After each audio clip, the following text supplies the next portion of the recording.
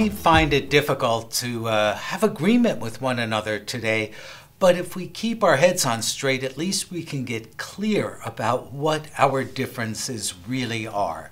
I'm Jeff Jawer. And I'm Rick Levine for Planet Pulse on this Wednesday, April 2nd. The sun lines up with outer planets once a year because from the Earth's going around the sun, and it looks like the sun lines up with these planets. And today is the annual alignment or joining of the sun and Uranus, Uranus, the planet of shock and of awakening. Uranus, the awakener. Uranus is radical, it's inventive. And today, as the sun lines up with Uranus, it's like the lights go on. We yeah, get clear. We get clear. Right. We can we can get clear, but we can also get crazy. There's a lot of energy Oh, yeah, that's that. working through the Crazy. nervous system. The moon today is is in Taurus, which wants to settle things down. But in addition to this liberating, innovative, revolutionary, independent sun Uranus energy, Mars is also being triggered in a bunch of ways. This is not a mellow day.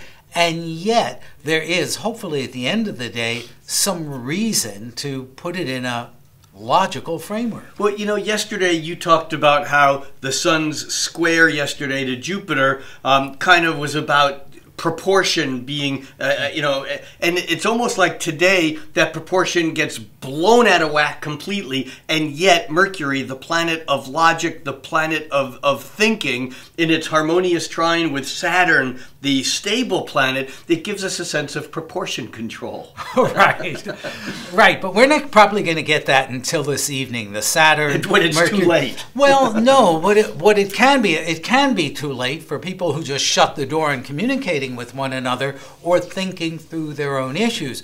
But sometimes we have to make a mess. We need to bring things up that are chaotic and out of control so we know what the truth is. And I think from there, if we can do it without being too destructive, the Mercury Saturn trine at the end of the day offers some intellectual maturity. I I think that's the case. I hope that's the case. But remember, even though the sun, which lines up with Uranus every year for a day or so, this year, while the sun is lining up with Uranus, it's also yesterday squaring with Jupiter, tomorrow squaring with Pluto. There's this, there's other planets in the mix that really makes this energy very, very powerful, even palpable. And and and I hope that we can have enough sense that the Taurus moon gives us the common sense to not get so crazy that we lose all proportion that we keep a glimmer you know of, of what reality is over here so that we can work our way back to something once we've done what we need to do